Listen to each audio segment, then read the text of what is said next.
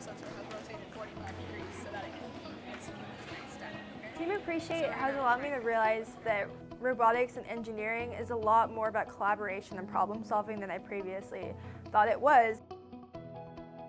Having some high school students who are heavily involved in robotics going and showing and teaching um, what you're doing, um, that grew interest, which led to an elective, and uh, now we have it um, as part of our regular curriculum that kids can access at the middle schools. And it's been such a rewarding experience, it's been so much fun, and I've learned so much about myself and interests and made so many great friends.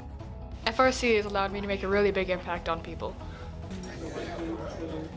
Robotics is a gateway to engineering, and it's really, really showed me what I want to be doing in my future. SACOT is the STEM Advocacy Conference of Texas.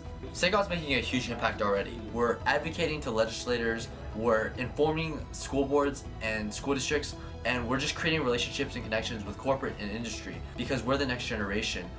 And there's just a lot of innovative ideas that come out of the program that to me make it uh, very significant and a special program. I think it serves as a source of inspiration and good ideas for other teams and hopefully they'll copy it.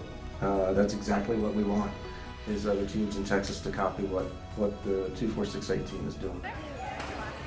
There we go. Nice job. All right. Again? In Texas, there's oh, certain things Westlake's known for. And one thing, you know, you always throw out sports, but also the amount of people will say robotics. Because of your program, the state has to start changing the way it puts things on transcripts because you have such a a large group of kids who want that class, desire that class, that's pretty impactful when you can see that.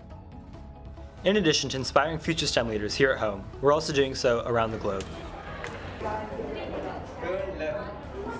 Currently, we're working with students in Germany, India, China, and South Korea. Team 2468 approached Intel in Austin.